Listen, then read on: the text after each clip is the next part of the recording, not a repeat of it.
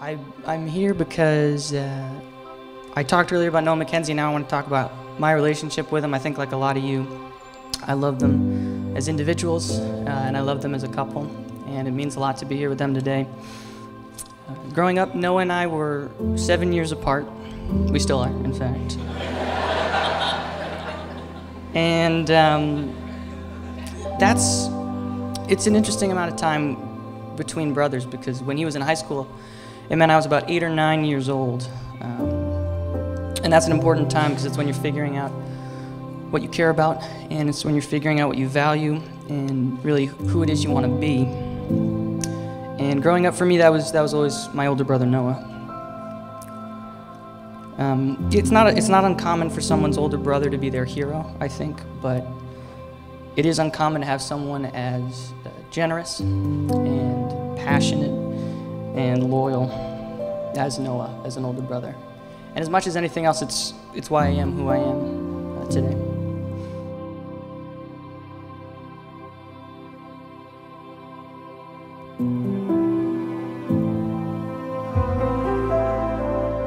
I think more, more than any other trait, loyalty defines who Noah is. You can ask any member of his family.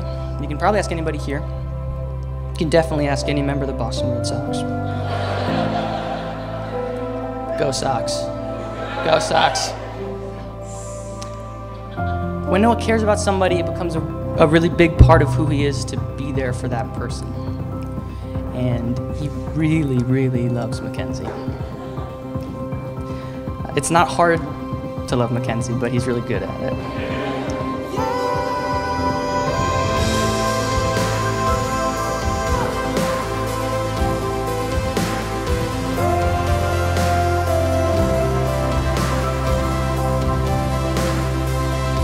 I think that a, family has two jobs.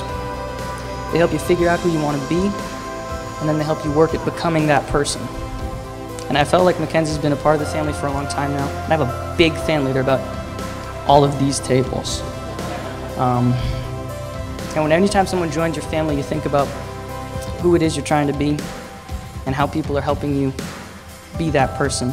And now that it's official today, thanks to a really good looking officiant, um,